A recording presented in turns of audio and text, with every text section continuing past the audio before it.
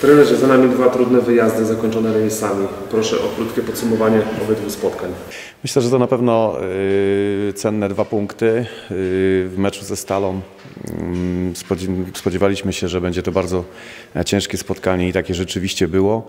Y, Drużyna gospodarzy nas e, trochę w tym spotkaniu zdominowała i, naprawdę mogliśmy się cieszyć, że e, dzięki e, ambitnej postawie udało nam się punkt wywalczyć. Natomiast w meczu z Bytowią, choć przed meczem wielu, wielu uważało za dobry wynik remis, no to my jednak z, y, z perspektywy tego spotkania wiemy, że, że, że to jest wynik, y, który nas nie zadowala. Byliśmy mm, przez długi okres y, drużyną lepszą i wydawało nam się, że jesteśmy w stanie sięgnąć po trzy punkty. No niestety brakowało trochę dokładności e, w sytuacjach pod bramką przeciwnika.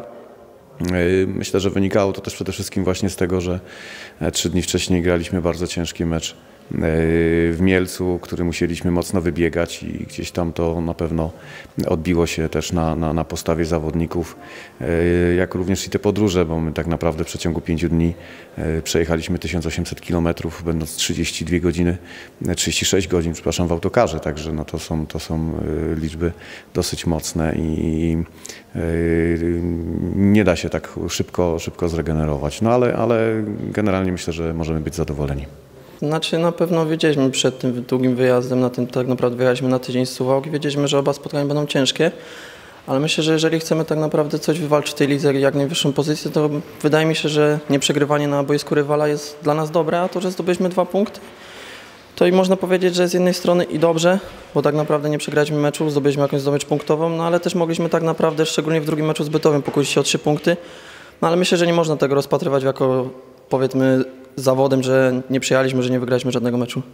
Z jakim nastawieniem wyjdziemy na boisku z przecinkiem Falubas? Nie wyobrażam sobie, żebyśmy y, nie myśleli o, o, o wygranej z zespołem y, z czwartej ligi, który, który gra w pucharze, ale wiadomo, że puchar rządzi się swoimi prawami. To jest jeden, jedyny mecz y, dla takiego klubu jak Falubas na pewno bardzo ważny. Wszyscy zawodnicy mm, na pewno mocno się do niego mentalnie przygotują i, i zrobią wszystko, jak to się popularnie mówi, będą gryźć trawę. Y, Natomiast no, my również nie zamierzamy, nie zamierzamy odpuszczać i wszyscy ci, którzy zagrają w tym spotkaniu, mm, na pewno e, będą chcieli e, pokazać, że nie na darmo mają miejsce w, pierwszoligo, w kadrze pierwszoligowego zespołu. No, szanujemy każdego rywala.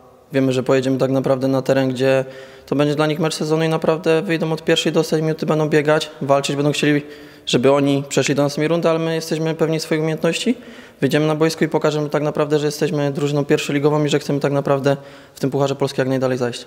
Jakie jest dotychczasowe doświadczenie trenera w Pucharze Polski? A w Pucharze Polski, no, no to ostatnio chociażby z Unią Skierniewice dotarłem do, do finału wojewódzkiego e, w, województwie łódzkim. No niestety tam, tam przegraliśmy z Wartą Sierac, e, mimo że, mimo że przez e, dłuży okres byliśmy też stroną przeważającą. No tak mniej więcej gdzieś tam to się składało, że, że chyba zraz udało mi się wygrać Puchar Wojewódzki, e, później, e, później odpadaliśmy w rundach, w rundach e, późniejszych. Natomiast liczę, że, że tutaj to wszystko się odmieni i zajdziemy daleko. Przyjemność miałem w Pucharze Polski zagrać tak naprawdę na szczeblu centralnym jedno spotkanie, jeszcze za czasów gry w Piasie Gliwice.